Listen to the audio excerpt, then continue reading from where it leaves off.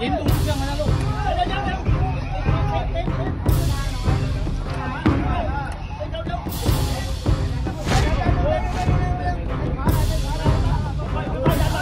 รถบัสขับพุ่งเข้าไปแล้วไปเสยแบรีเออร์ แล้วก็พุ่งตกคลอง เหตุการณ์ที่เกิดขึ้นเสียชีวิตไป 3 รายนะคะแล้วที่นั่งกันมา 20 กว่าชีวิต เจ็บกันเกือบหมด คือรถเนี่ยมันเทตกลงไปด้านล่าง ตกสะพานลงไป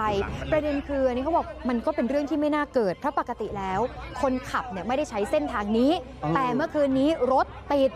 เหมือนกับจะเปลี่ยนเส้นทางก็เลยขับมาตรงนี้ที่เราไปเจอกับพลเมืองดีที่อยู่แถวนั้น และก็เข้าไปช่วยเหลือคนเจ็บนะฮะพี่วีรชัย พี่วีรชัยเล่าให้ฟังว่าจริง ๆ แล้วเนี่ยตอนนั้นเนี่ยตัวเองเนี่ยกำลังจะไปดูปั๊มน้ำเพราะน้ำมันไม่มันน้ำมันไม่ไหลอะก็เลยจะไปดูปั๊มน้ำว่าเอ๊ะมันเกิดอะไรขึ้นหรือเปล่า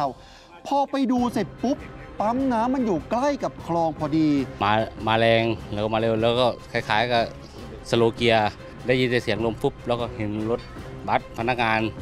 ร่วงมาจากสะพานชน barrier มาปุ๊บปุ๊บปุ๊บปุ๊บแล้วก็ร่วงตุ้มหัวหัวหัวลงก่อน ใช่ใช่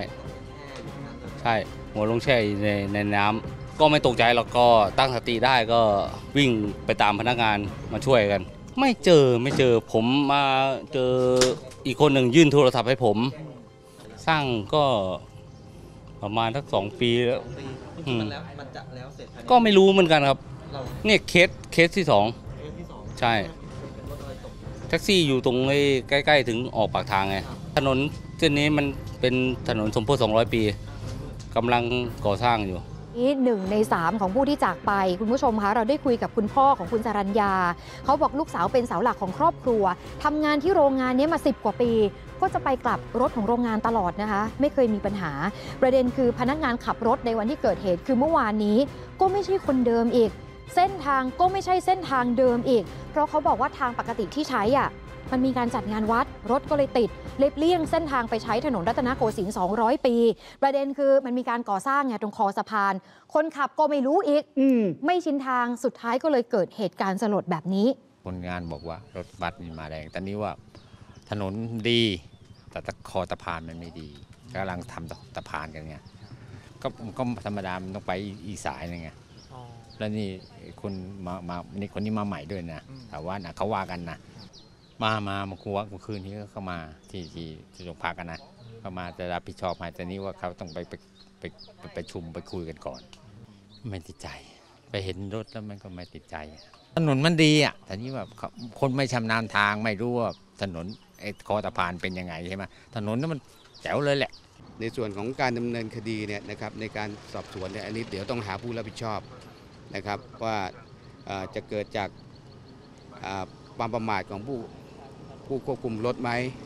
นะครับ อันนี้เดี๋ยวเดี๋ยวต้องดูนะครับ เดี๋ยวต้องไล่สืบเอาให้สืบสวนลงไปดูแล้วนะครับ รวมทั้งผลตรวจเลือดตรวจแอลกอฮอล์ด้วยนะครับ แล้วก็ในส่วนในส่วนที่สองเนี่ยนะครับในในส่วนของจุดที่เกิดเหตุเนี่ยในทางที่เกิดเหตุเนี่ยนะครับบริษัทที่รับผิดชอบในการก่อสร้างถนนเส้นเนี้ย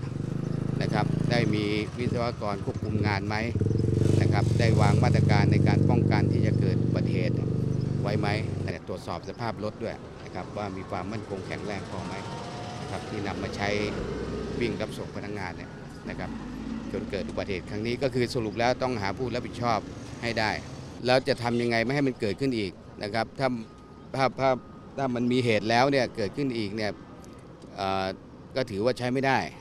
นะครับในส่วนที่เกี่ยวข้องเนี่ยนะครับที่รับผิดชอบเรื่องนี้เราคงปล่อยเลยไปไม่ได้นะครับ